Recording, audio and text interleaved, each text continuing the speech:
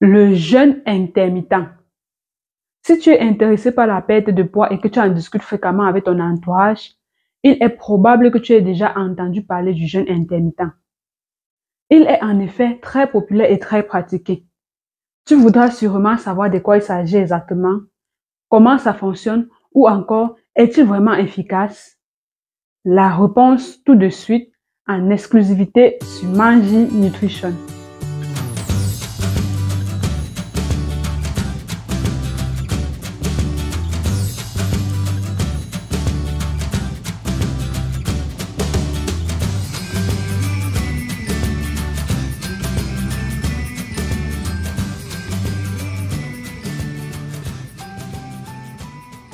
Bonjour mon idéaliste, je suis Cyriane Madon, ta conseillère en nutrition tropicale, spécialiste du ventre plat pour les femmes minces ayant un ventre ballonné, toujours à la recherche de sa perfection physique et je t'amène dans mon voyage. Bienvenue sur la chaîne du bien-être. Si tu es nouvelle sur cette chaîne, n'hésite pas à t'abonner pour qu'ensemble nous atteignions notre idéal physique. Surtout, active la cloche de notification pour ne pas rater les prochaines vidéos. Et si tu es ancienne, je te fais un gros coucou et je te remercie pour ta fidélité qui m'honore.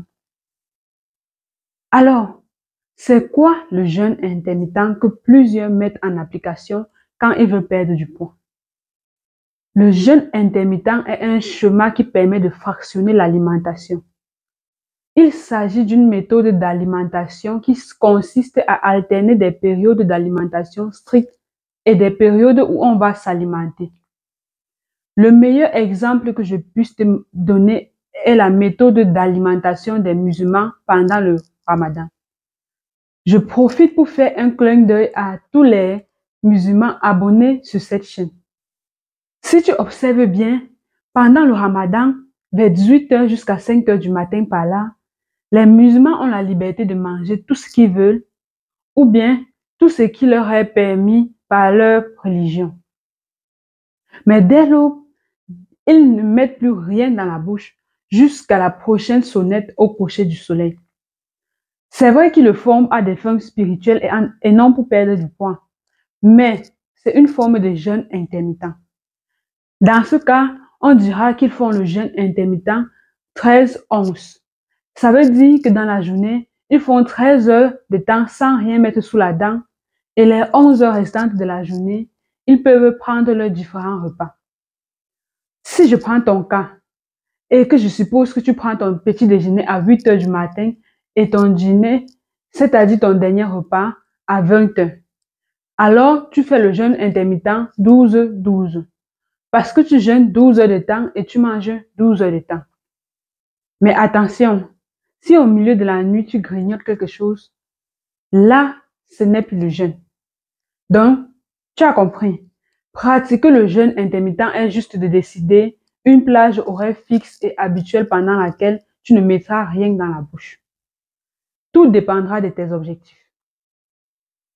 Au fil des années, plusieurs études expérimentales ont été faites sur le jeûne intermittent pour étudier la meilleure forme de jeûne intermittent qui donne plus de résultats pour la perte de poids.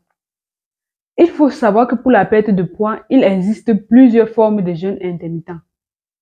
Les plus populaires et plus efficaces sont le jeûne, intermittent 16-8 où tu jeûnes pendant 16 heures et tu t'alimentes pendant 8 heures. Ensuite, tu as le jeûne intermittent 24-4 où tu jeûnes pendant 24 heures et t'alimentes pendant 4 heures. Et puis, le jeûne Eat Stop X, Eat qui implique de ne pas manger pendant 24 heures une ou deux fois par semaine. Tu peux par exemple choisir de manger une fois par jour, soit uniquement le matin, soit uniquement le soir, quand il s'agit du jeûne Eat Stop Eat. Il existe également des jeûnes intermittents qui ne se focalisent pas sur les 24 heures de la journée. Par exemple, la méthode 5 2.2 qui consiste à manger normalement pendant cinq jours de la semaine, puis pendant les deux jours consécutifs, baisser les apports caloriques aux calories au cas de l'apport quotidien normal. Ça veut dire que si pendant les cinq jours normaux, ton apport énergétique quotidien est de 2000 kilocalories, Les deux autres jours, ton apport énergétique quotidien sera de 500 kcal. J'ai une question pour toi et j'aimerais que tu répondes en commentaire. Quelle forme de jeûne intermittent t'inspire le plus? As-tu déjà essayé l'une d'entre elles? Quelles ont été tes impressions et les résultats? Il faut noter que pendant le jeûne intermittent, tu n'as aucune restriction alimentaire. Tu peux consommer tout ce que tu veux. Par exemple, pour, pour le jeûne 16-8, imaginons que tu choisisses de manger entre 8h et 16h. Tu peux donc prendre ton petit déjeuner à 8h, ton déjeuner à midi et une collation qui fera office de, dîner à 16h, puis ne plus rien prendre jusqu'au lendemain à 8h. Si par contre tu choisis plutôt de manger entre 12h et 20h, là tu n'auras pas de petit déjeuner. Ou bien ton repas de midi fera office de petit déjeuner, puis tu prendras une collation à 16h et ton dîner à 20h pour clôturer la journée. En fait, tu as vraiment un vaste choix de plages horaires. Tu peux donc facilement l'adapter à tes routines. Si tu travailles par exemple de nuit, tu peux décider de jeûner de 4h à 20h et de t'alimenter à partir de 20h jusqu'à 4h. Tu vois que cette méthode d'alimentation peut, peut vraiment s'adapter à tout, n'est-ce pas? Maintenant, quand tu prends l'initiative de jeûner plus longtemps, qu'est-ce qui se passe dans ton corps? Ton organisme qui avait pour habitude de tirer son carburant directement de la nourriture que tu ingurgitais sera coincé. Et puisqu'il doit absolument fonctionner normalement, il sera obligé d'aller puiser ses, d'aller puiser dans ses réserves de graisse pour fabriquer son énergie. En effet, le jeûne favorise la régulation de deux hormones qui sont très utiles pour la perte de poids. Ces hormones sont l'insuline et l'hormone de croissance. L'insuline est l'hormone produite par le pancréas qui joue un rôle clé dans la régulation du métabolisme des glucides et des graisses. Lorsque tu manges et que ton taux de glucose ou de sucre sanguin augmente, le pancréas sécrète de l'insuline pour aider à transporter le glucose dans les cellules, ou il peut être utilisé comme une source d'énergie ou stocké pour une utilisation future.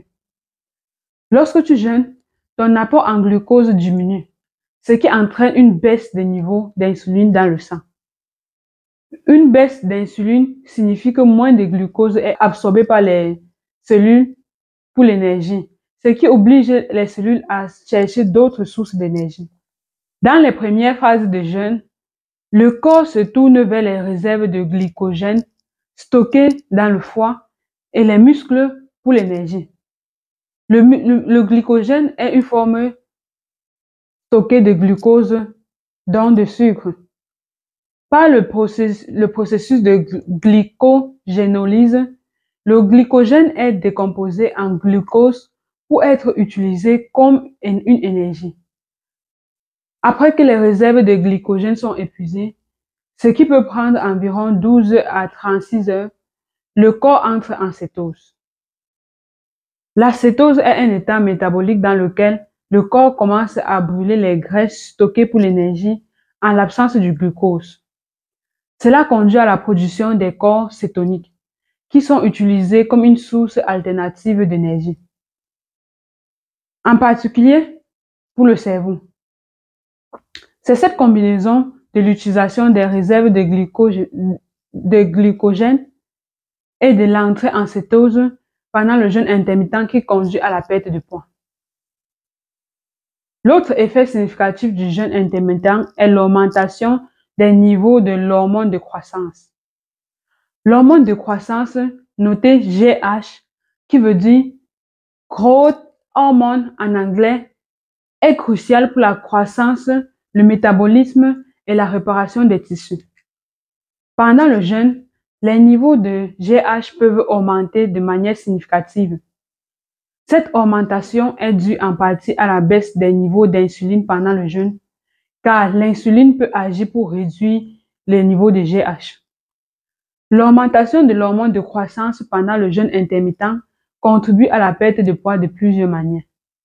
Premièrement, la GH stimule la lipolyse.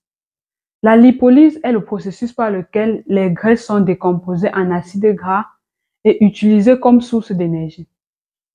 Deuxièmement, elle aide à préserver la masse musculaire et à augmenter la masse musculaire maigre. Tu sais, lorsque tu perds du poids, surtout si c'est rapidement ou par des régimes très restrictifs, restrictifs en calories, il y a un risque de perdre non seulement la graisse corporelle, mais aussi de la masse musculaire. La perte de la masse musculaire n'est absolument pas souhaitée, car cela peut ralentir le, métabolisme et, affaiblir le corps. L'hormone de croissance aide donc à protéger la masse musculaire en période de restriction calorique, comme pendant le jeûne intermittent. Tu dois aussi savoir que la masse musculaire est métaboliquement active, ce qui signifie qu'elle brûle des calories même au repos. Donc, plus ta masse musculaire est importante, plus ton taux métabolique de base est élevé. Le taux métabolique de base est la quantité de calories que ton corps brûle au repos. Ça veut dire qu'une augmentation du taux métabolique de base signifie que tu brûles plus de calories tout au long de la journée, ce qui peut faciliter la perte de poids ou aider à maintenir la perte de poids. Dans cette combinaison de l'augmentation de l'hormone de croissance, de la réduction de la graisse corporelle et de la préservation de la masse musculaire crée un environnement favorable à la perte de poids et au maintien de la santé globale. Enfin, le jeûne intermittent va améliorer le fonctionnement de l'autophagie.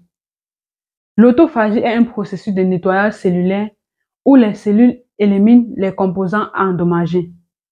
Le jeûne peut augmenter l'autophagie, ce qui peut offrir des effets protecteurs contre plusieurs maladies y compris le cancer et les maladies neurodégénératives. Donc, pendant ce processus, les cellules dégradent et, recyclent leurs composants endommagés ou superflus, comme les protéines mal pliées et les organiques dysfonctionnels. En éliminant les composés organiques dysfonctionnels, l'autophagie peut améliorer le fonctionnement cellulaire et donc le métabolisme. Un métabolisme, plus efficace aide le corps à brûler les calories plus efficacement. Maintenant, je suis sûre que tu veux essayer le jeûne intermittent pour perdre, du, pour perdre plus rapidement le poids. Mais quand tu penses à la longueur de 16 heures minimum sans manger, tu es découragé et tu te dis que tu ne vas pas y arriver. C'est vrai que pour un début, ça ne sera pas facile.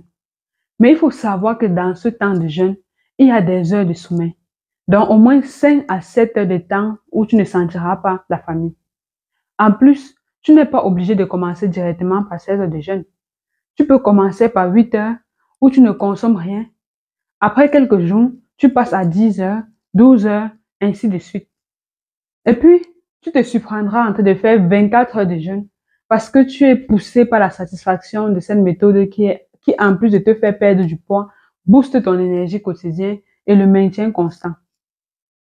Il faut aussi noter que pendant la période de jeûne, tu as le droit de consommer tous les aliments qui ont zéro calorie, comme l'eau et les infusions.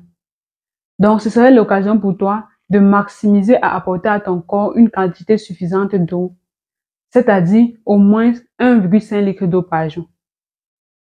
Tu dois aussi profiter pour désintoxifier, désintoxifier ton corps avec les thés, avec les infusions des thés ou des tisanes. La meilleure tisane sur le marché que je te recommande, c'est le kit détox bio by Josica. C'est celle que je consomme depuis plus d'un an aujourd'hui. Je ne manque jamais de le prendre. Il est constitué de trois thés à boire matin, midi et soir. Il a une triple action ventre plat, détox et maigre.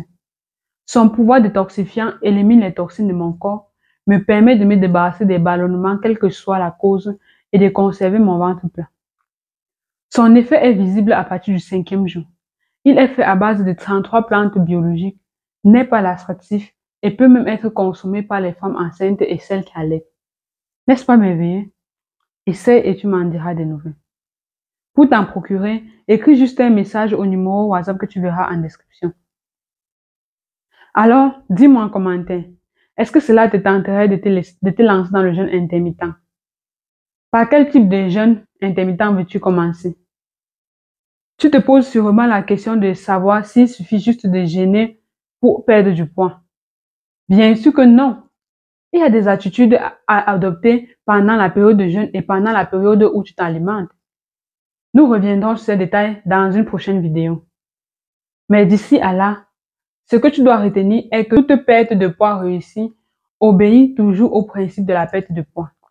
Le principe de la perte de poids stipule que la quantité de calories dépensées doit être supérieure à la quantité de calories consommées.